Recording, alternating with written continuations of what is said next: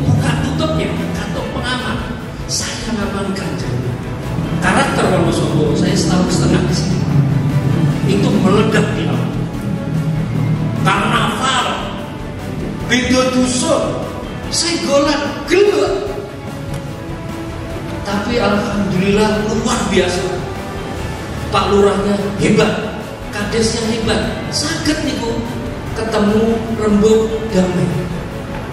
Terima kasih Pak Kades. Terima kasih Pak Lurah. Kita kasih aplaus